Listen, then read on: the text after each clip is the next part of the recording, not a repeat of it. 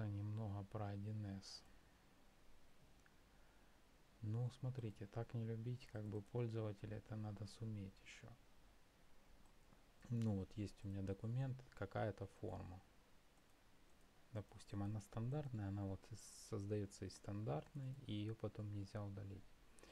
Ну и предположим, я хочу создать кнопку какую-то, вот печать, да, ну, печать вот, к примеру, это делается. Создается команда, давайте удалю, создаю команду, называю печать Word, значит. Вот, и что как нас учили потом в командную панель сюда, хоба, и вот она появилась. Да, ну и дальше, если я хочу печать Word посмотреть, то есть, что мне надо сделать, обработчик посмотреть какой-то или создать, я вот действие, делаю какой-то здесь обработчик какой-то. Есть вот такой обработчик, ну, к примеру, там что-нибудь сообщить. Вот он, появился.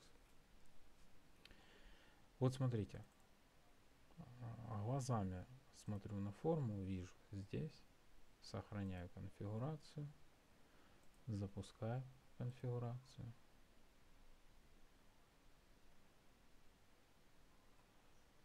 Протокол, значит, оп, мистика, где кнопка.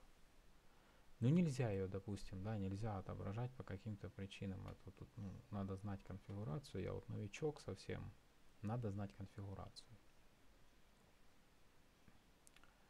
Но почему я ее вижу тогда здесь? Вот, в чем причина? Ну, то есть, ну, я не понимаю, ну, человек, который смотрит на этот интерфейс, он чисто логически должен был бы этого вот не допустить. Ну, мне так кажется.